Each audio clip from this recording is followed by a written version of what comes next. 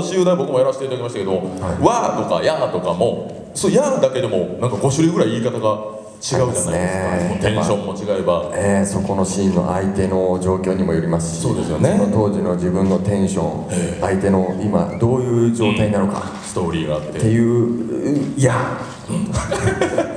ダチョウさんみたいなやられるシーンもね、はい。三4パターン撮ってもらったんですよもうちょっとやられると本当もうもうダメみたいにやられるシーンとかいろいろやってもらって。軽症から重症まで。えーそう。そうそれも楽しかったですね。あの聞いてるのは。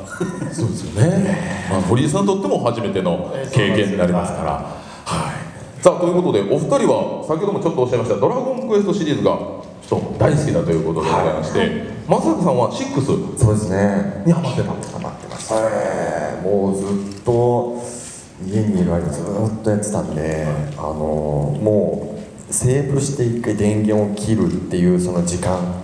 でまたあの電源を起こしてまたそこからっていうそのストロークすらももったいないと思っていたんであご飯よって呼ばれてからあのそこに行くまでもうそのまんまセーブもせずにあの画面を消さずにまあ、そうその時間がもったいないから。もったいないのでそのまんまこうご飯どころ行ってご飯食べてあじゃあつってまたそこで戻ってすぐ始められるように。親に怒られるパターンですよねそれね。ええ完全にそのパターンです 早く飯食ってという。桐谷さんは、えー、9はい、はい。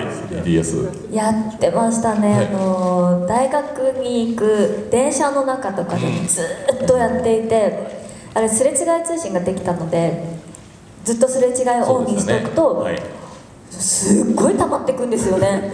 こんなにやってるんだっていうぐらい電車の中ってすごくて、それがもう楽しくてしょうがなかったのと女子大なんですけどやっぱりドラクエやってる子が周りにたくさんいて、はまああの昼休みとかちょっとした空き時間とかドラクエ話で盛り上がってまいした。ねえー。まあ、すごいね。ちょっとレアな地図が手に入ったりとかね。そうですよね。そういう初のすれ違いっていうのがありましたからね、えーこちらも十分楽しんでいただいたということです。そうあこのそれもありましたね。その感覚どうですか？お二人これ。ちょあのちょっと慣れるまで時間がかかりますね。っとまずい。恥ずかしいけどでも一緒にこう技名とか言っちゃう感じがあそうですりますね。ねもうなんか僕の中での脳内変換した感じのその声で皆さんと一緒に共に戦っているのでね。本当になんかさ参加させてもらった気分というかもう二人も素晴らしいですけどもう他の声優陣が本当超豪華ですからね。光栄ですここに集まって、えープレイしていただきました、まあ、お二人よろしくお願いします。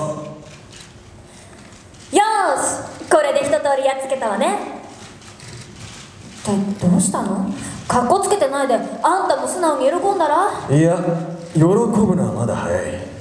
そうなの？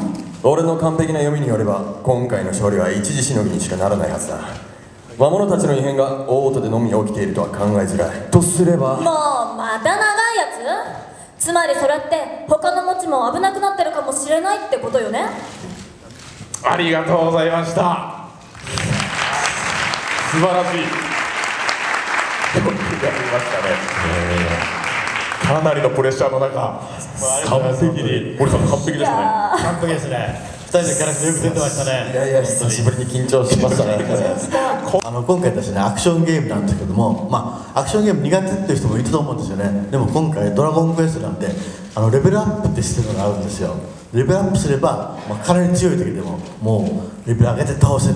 それから操作もですね簡単コマンドがあって A ボタンを押してるだけですごい必殺があって嬉しい気持ちいいっていうそういうゲームになっております。